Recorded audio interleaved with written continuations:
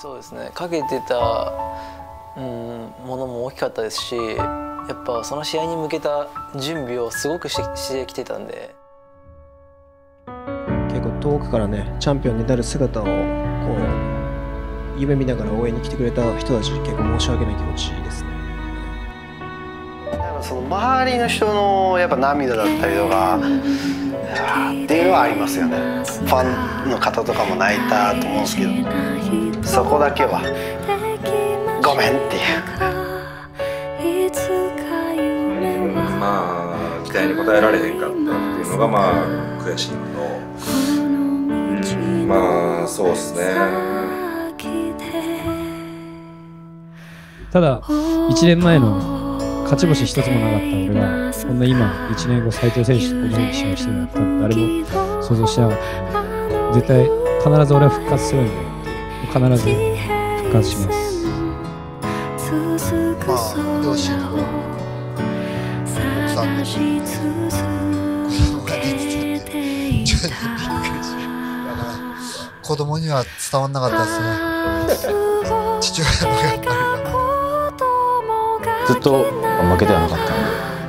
まあ久々に負けたから想像できなかったんですよ僕が負ける姿が夢かなって感じ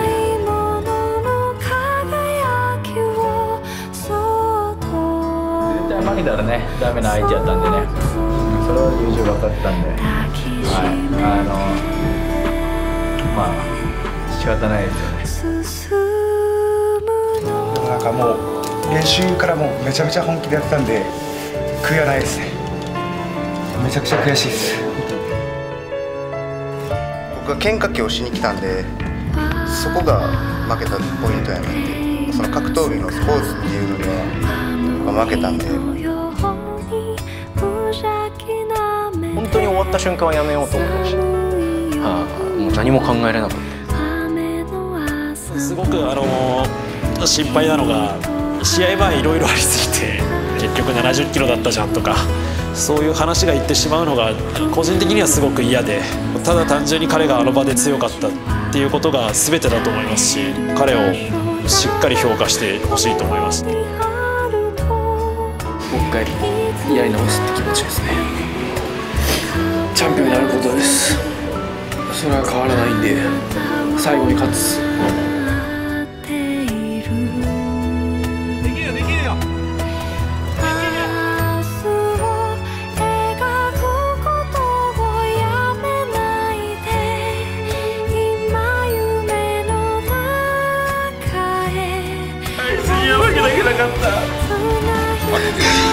タイマン張ったら兄弟みたいな マブダチじゃなくて兄弟似てるから。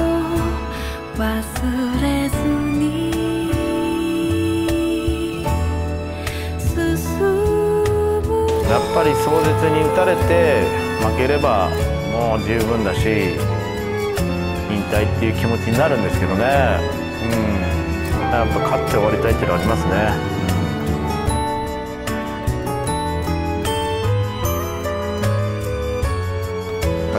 後悔してそうしてなんかもっと強くなります。はい。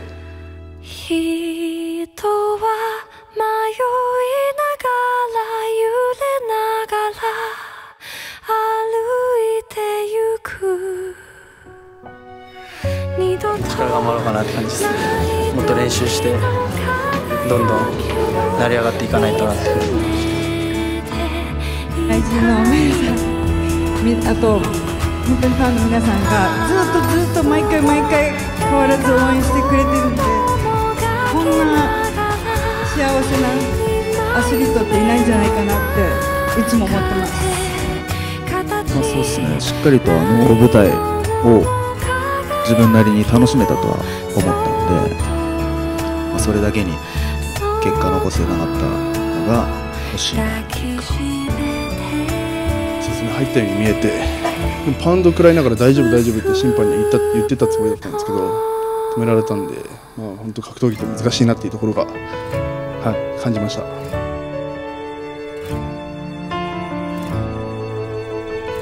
あでも本当にやっぱ結果で返したいなっていうのが、まあ、なんで俺は結果で返せへんのやろうなっていうのがまあとても強くまあ今本当に思ってて